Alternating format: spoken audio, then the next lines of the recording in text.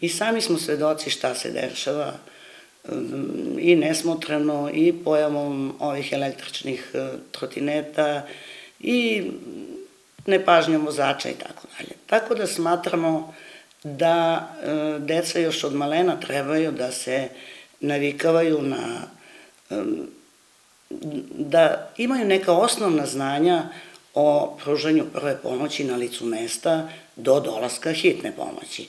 Pored toga mi radimo i komercijalnu obuku prve pomoći za radne organizacije, jer e, su radne organizacije u obavezi da po članu 15 zakona o bezbednosti e, na radu imaju obučena lica u svojim firmama.